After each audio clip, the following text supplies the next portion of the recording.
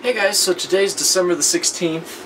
Uh, we're out here at San Isabel National Park and it is cold outside. It is about, oh, I'd say 40. So, so, what I was going to say is I met this lovely couple tonight and they actually invited me over for dinner and I was really happy because the meat that I had in the fridge, which we bought about a week ago, uh, it was a non-GMO, not anything kind of meat. It was great, tasted great. Issue was it went bad.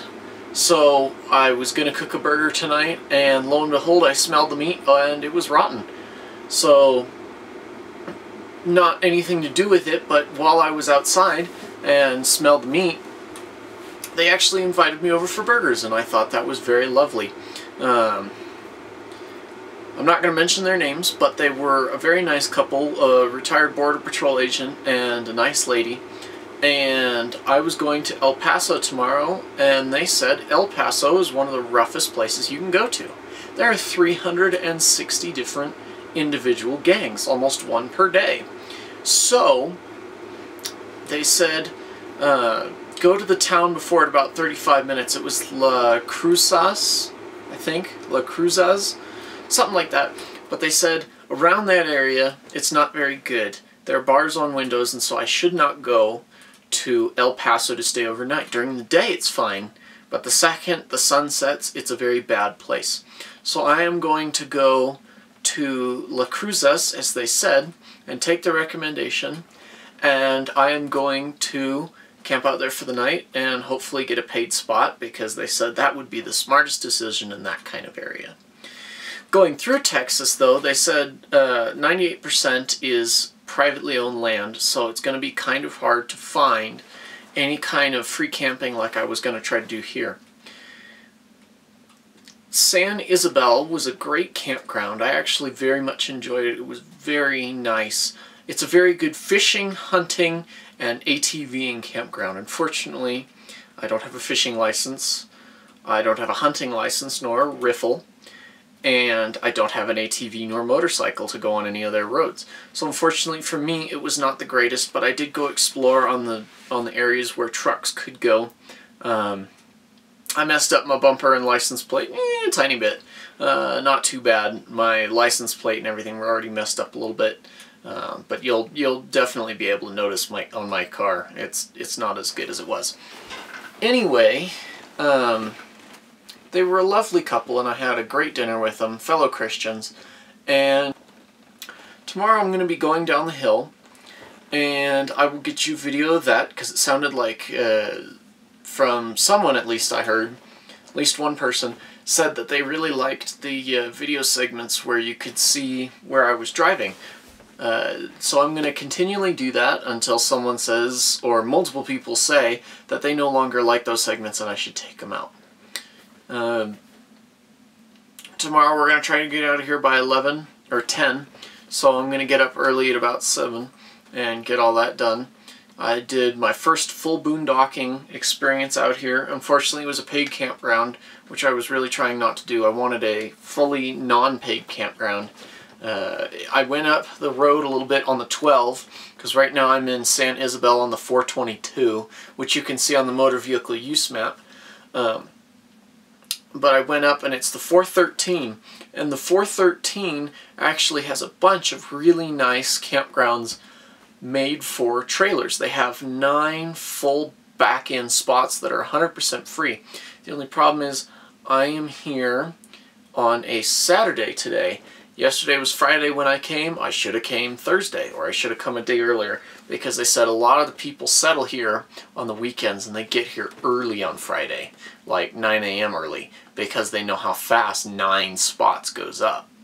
Uh, we are kind of out here in the neck of the woods, that's why I haven't really been posting anything. But as soon as I get back to the mainland, any kind of city where I have good Verizon signal, I will try to uh, upload a bunch of different videos, and they will be time so that I don't miss anything. I'm going to try to get better with that. Unfortunately, on responsibility-wise, I'm still running everything myself. And as much as I'd love to upload videos, it's still very difficult because it was never a daily part of my life. Um, neither is Facebook, so I don't do regular posts there or anything. I'm trying to get into the habit of it. Um, so I'm going to try to set reminders to post where I am, what I'm doing, stuff like that. It'll be delayed uh, for safety reasons, but it will still be done. Uh, and I hope you enjoy the rest of this video, which is probably the first thing is the road trip down. You'll see I was a long way out in the middle of nowhere.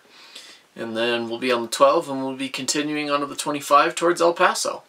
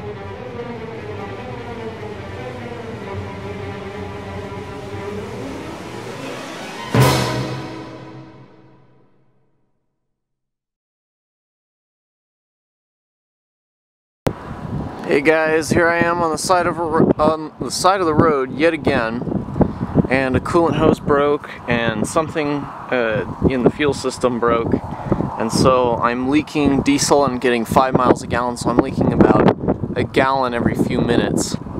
Um, and I'm also leaking a ton of coolant, which I can deal with the diesel uh, leaking, but I can't deal with the coolant leaking because I don't want to blow up my engine.